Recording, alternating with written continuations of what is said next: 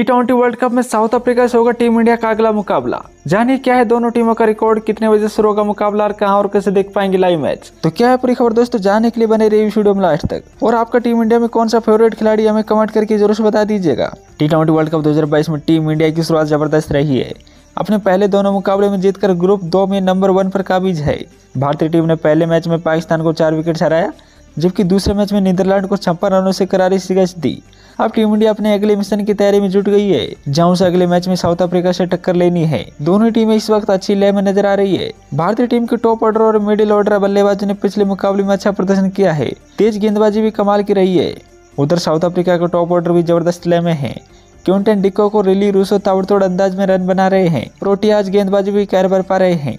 South Africa ने अपने पिछले मैच में बांग्लादेश को 104 रनों से हराया था। इसलिए इस मुकाबले में जीत दोनों ही टीमों के लिए आसान नहीं रहने वाली है। तो चलिए जानते हैं कब, कहाँ और कितने बजे से खेला जाएगा यह मैच और कैसे देख पाएँगे लाइव मैच। भारत और साउथ अफ्रीका के बीच यह मुकाबला तीस अक्टूबर को शाम साढ़े चार बजे से खेला जाएगा।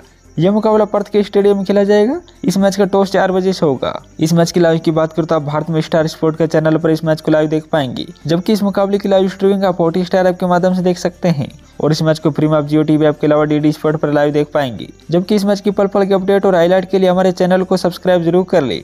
धन्यवाद।